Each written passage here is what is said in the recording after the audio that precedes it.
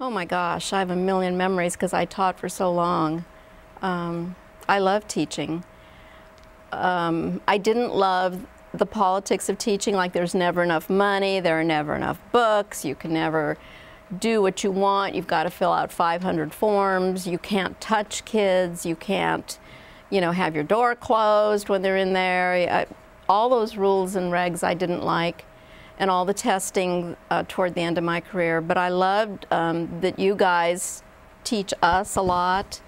I love that you guys, I think, in the eighth grade, I taught eighth grade, um, in the eighth grade are so curious about life and you're not afraid to ask. And I hope you're not afraid to ask. I hope you always ask what you're wondering about, uh, even if you might sound, you think you sound stupid, but you really aren't.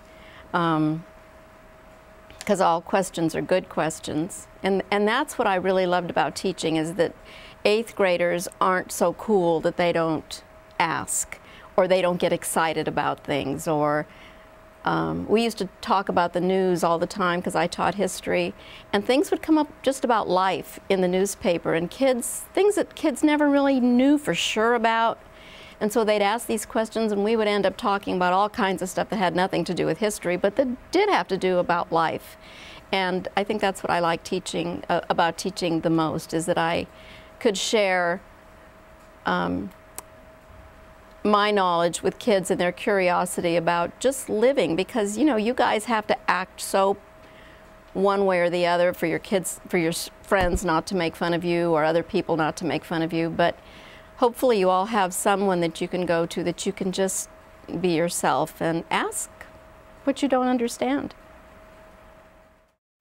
You know, a, a lot of people say, oh my God, aren't the kids horrible nowadays?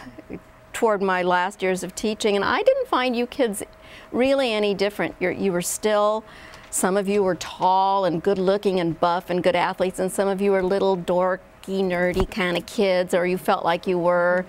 Um, some of you, you know, were like Mr. Cool, and others of you were, you know, Miss Popular. But what's popular? Nobody really knows what popular is.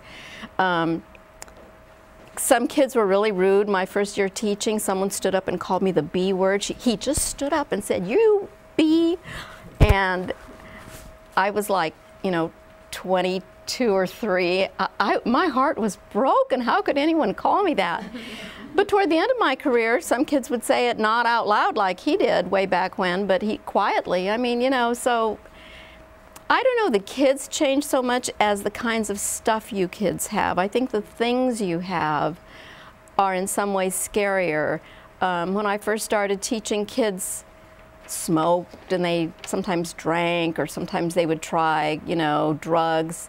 But you guys have other stuff that I think make connecting harder, like your phones. Oh my God, your phones, and the internet, which is scary. And I, I, I don't know that kids your age really realize how, um, how treacherous those things can be. It's not that they're bad; they're not bad at all. They're great. I think you kids can learn all kinds of wonderful things through the internet, but. Um, things that you put online or that you say online or that you see online can really, I think, damage you. And you don't even know it's damaging you. And um, so kids, I think, are the same and have been the same all this time. Uh, some of your parents worry a whole lot about you and are more involved with the school, which is good and bad, because um, they don't give you enough enough um, enough space. It's like they're always watching over you, and it's like they need to let go a little bit. I think parents have always been protective, but they seem extra extra protected, maybe because they're afraid because of all this stuff that you hear about that could happen to you. Um, but I think kids, for the most part, are pretty much the same. You still have the same fears. You're all beautiful. Look at you. Oh my gosh. Uh, and but none of you believe that. You all think, oh God, no, I'm not. You know, oh. but you are. I think you're at your you're you're entering your peak years as far as beauty goes in, in terms of your looks, your mind, um, what you have to offer people, your kindness. Kids in middle school are so kind, not to each other maybe, but you know, if you saw someone hurt, you guys would be the first ones over there to help. I know you would because that's that's the beauty of middle school. You still have big open hearts.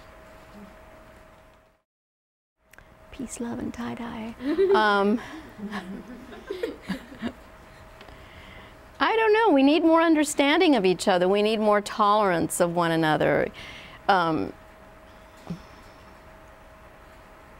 you know, we all want to be, I don't know what we all want to be. Um, I, it's like you're, people are so afraid of losing power, I guess, that they're always fighting with one another. They're, you know, they fight about religion, they fight about, they fight and cheat for what they think they want to achieve as a way to get it, and that's really not the way. And I think, I think we need more interchanges with people of all ages, um, I don't know how many of you have grandparents around, but you know, I think you need to spend time with them and they with you. And some of you do that, but a lot of us are just not interested because it, we feel like, oh, I don't need my grandparent or I don't need that weird neighbor I have.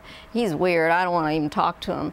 And I think we need to open our hearts to each other and see see the good that everyone has in them and that'll lead to peace. Because all this war and fighting and um, please don't ever join the service, any of you. I mean, I love this country, but I, I to see young people die is just heartbreaking, and I hope uh, I hope you don't have to put yourselves in that position ever.